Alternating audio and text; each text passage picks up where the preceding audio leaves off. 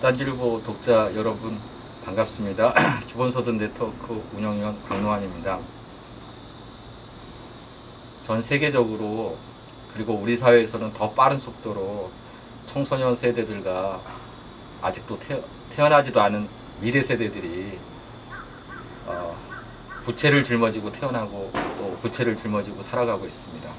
이 모든 것이 자본가와 더 많은 토지와 더 많은 재산을 소유한 사람들에게 빼앗기고 있는 것이라고 할 수 있습니다.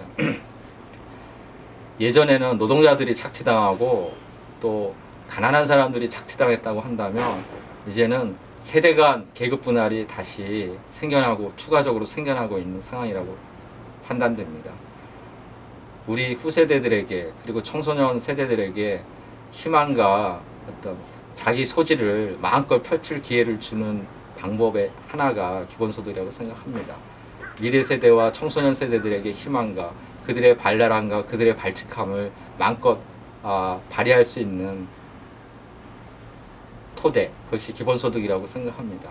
기본소득이 빠른 속도로 딴지일보 독자 여러분들에게 어, 전달이 되고 빠른 속도로 사회 공론화가 돼서 어, 실현의 속도가 빨라졌으면 좋겠습니다. 그걸 위해서 같이 진행하면서 이렇게 가기를 바랍니다. 감사합니다.